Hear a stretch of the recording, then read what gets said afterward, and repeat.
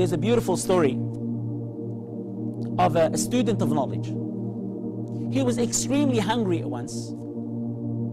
So he went out there to search for food. He could not find any food. He asked people, people did not give him any food, unfortunately. So he went into a farm and he grabbed an apple and he ate an apple and then he regretted his action. He was saddened about what he has done. So he asked people, who owns this farm? So they've told him there's a person that lives in that specific area. So he went to him, he said, please forgive me. I have eaten an apple from your farm. Please forgive me. He said, I will not forgive you. وَسَأَكُونْ خَصْمَكْ أَمَامَ اللَّهِ يَوْمَ الْقِيَامَةِ And I will be your opposition, opposition the day of judgment in front of Allah. He said, it was only an apple. Please forgive me. He said, I will not forgive you. And he walked back inside the house. So this young man waits outside the house. He waits from after Dhuhr until before Asr. And this man comes out. He said, I beg you to forgive me. He said, I'm willing to become a laborer. I am willing to work for you. Just forgive me for that apple. He said, okay, I'll forgive you on one condition. He said, what is it?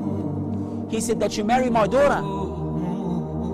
And he was overwhelmed. He was very happy. He said, but she has few problems. She's deaf, dumb, blind, and disabled. He said, what? He said, I will never forgive you until you marry her. He said, I will never forgive you until you marry her. And they have set a certain date for this young man to come. So he came dragging his legs along because he's saddened. He's upset that he's going to marry someone that he's going to be looking after for the rest of his life. So he walks inside the house. He sees a beautiful girl. And she, she comes up to him. And he's just astonished. He's, he's amazed. He's surprised. And he's looking at her, dumbfounded, flabbergasted. Subhanallah al-Azim. And she said to him, she said, are you surprised? He said, yes.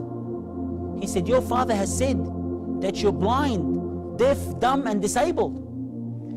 She said to him, my father has been looking for a spouse for me for a long time. He's been looking for a husband for me for a long time. And when he saw that you're fearful of Allah because of the apple that you've eaten, he knew that you are the right person for me. And she said to him, Yes, I am blind from looking at haram. And I am deaf from hearing haram. And I am dumb from speaking ill haram.